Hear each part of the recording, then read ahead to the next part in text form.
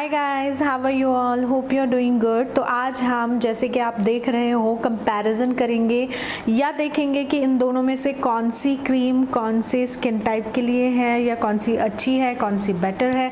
तो basically Nivea cream का comparison होगा सॉफ्ट लाइट मॉइस्चराइज़र से from the same Nivea brand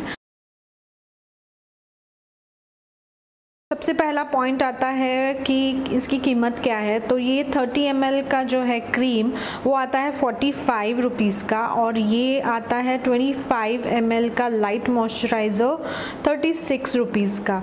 तो ऑलमोस्ट क्वांटिटी अगर आप कंपेयर करें तो ऑलमोस्ट रेट सिमिलर है, कुछ ज़्यादा डिफरेंस नहीं है।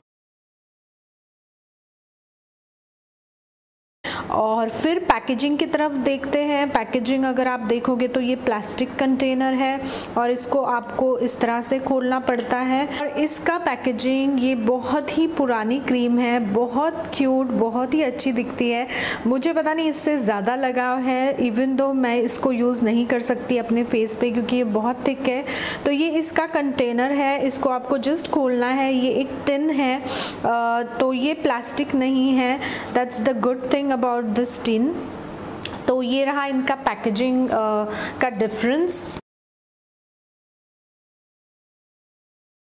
सेकेंड कंपैरिजन पॉइंट आता है टेक्सचर का, कि ये टेक्सचर में कैसे है दोनों क्रीम्स तो ये काफ़ी थिक सी क्रीम है, आप देख सकते हो। और इसको अगर आप हाथ पे ऐसे लगाना चाहो तो इसको काफ़ी टाइम लगता है मेल्ट डाउन होने में, सिंक डाउन होने में इस तरह से दिखती है। थोड़ी सी ग्रीसी फीलिंग देती है तो जिनकी बहुत ही ड्राई स्किन है, उनके लिए ये बहुत अच्छा है। अब देखते हैं इसका टेक्सचर ये भी वाइट कलर का है, लेकिन बहुत लाइट है, बहुत ही वाटरी काइंड ऑफ़ फील देता है जब आप लगाते हो, बहुत अच्छे से मेल्ट डाउन हो जाता है, दो मिनट मतलब जिस दो मिनट में ये एब्जॉर्ब हो जाता है और बहुत अच्छी फीलिंग देता है, ठंडक देता है, जो कि ये ठंडक नहीं देता, ये थोड़ा सा थिक है और थोड़ा टाइम लगता है तो ये थोड़ा सा not that cool compare to this जैसे कि इमीडिएटली पता चलता है और अपने हाथ पे भी देख लिया कि टेक्सचर कौन सा थिक है और कौन सा लाइट है।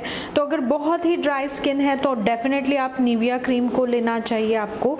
लेकिन अगर आपकी स्किन ओके ओके है, बहुत एक्सट्रीम ड्राई नहीं है नॉर्मल ड्राई है तो आप इससे भी काम चला सकते हो क्योंकि ये भी उतना ही कूलिंग और मॉइस्चराइजिंग इफ़ेक्ट देती है। बस ये बहुत ड्राई स्किन के लिए बहुत ही अच्छी है। फ्रैग्रेंस की बात करें तो Nivea cream has a very light mild sweet fragrance और इसका फ्रैग्रेंस थोड़ा सा ज़्यादा है कंपेयर टू निविया क्रीम थोड़ा सा ज़्यादा फील होता है तो जिनको फ्रैग्रेंस का थोड़ा सा इशू होता है, ज़्यादा फ्रैग्रेंस हैंडल नहीं कर सकते, उनको ये थोड़ा सा स्ट्रॉन्ग लग सकता है लेकिन इट्स फ्रेश इट्स नॉट कि बहुत ही बुरा है, बहुत फ्रेश फ्रैग्रेंस है लेकिन थोड़ा सा स्ट्रॉन्ग है। दोनों क्रीम्स को काफ़ी अलग अलग तरीके से यूज़ कर सकते हो। मैंने एक वीडियो किया है जिसमें मैंने बताया हुआ है नेविया क्रीम को कैसे अलग अलग 11 तरीक़ों से यूज़ करना है। अगर आपने वो वीडियो नहीं देखा है तो प्लीज़ देख लेना। और इन दोनों को आप वैसे उसी तरह से यूज़ कर सकते हो अलग अलग तरीके से, जैसे डे एंड नाइट क्रीम या फिर आपको सूट डाउन करनी है skin after you know lot of sun exposure आपकी स्किन जल रही है तो आप डेफिनेटली ये लाइट मॉइस्चराइज़र लगा सकते हो और बहुत ठंडक मिलेगी, बहुत सूट डाउन लगेगी आपको आपकी स्किन अगर आप यूजली वैक्सिंग नहीं करते हो but you shave your legs या हैंड्स तो आप उसके बाद आपका ड्राइनेस इचीनेस भगाने के लिए ये यूज़ कर सकते हो. डिपेंड करता है आपके स्किन टाइप पे जो भी आप चूज़ करोगे, आप इसको एज अ प्राइमर या as a makeup remover use कर सकते हो. इन दोनों को ही आप आपके क्यूटिकल्स पे हैंड्स पे नीज पे एंकल पे आप आपके एल्बोज़ पे जहाँ जहाँ बहुत ड्राई पैची और काले एरियाज़ हैं, वहाँ पे इसको लगाइए मॉइस्चराइज़ कीजिए डेली बेसिस पे। आप काफ़ी डिफरेंस फील करोगे और वो स्किन अच्छी हेल्दी स्किन लगेगी आपको और जो कालापन है वो भी धीरे धीरे कम हो जाएगा। इसको कोई भी कट वाउंड्स या क्रैक्ड हील्स है तो उस पर भी यूज़ कर सकते हो। कोई भी क्रीम ले लो आप, इन दोनों में से इट वर्क्स गुड इसी तरह के अलग अलग तरीक़ों से आप इस दोनों क्रीम्स को यूज़ कर सकते हो। और आप जितना सोचोगे, उतने अलग अलग तरीके निकलेंगे। ओवरऑल इन दोनों को कंपेयर करोगे तो आपको यही पता चलेगा कि आपके स्किन टाइप पे डिपेंड करता है। दोनों ही क्रीम्स बहुत ही अच्छी है।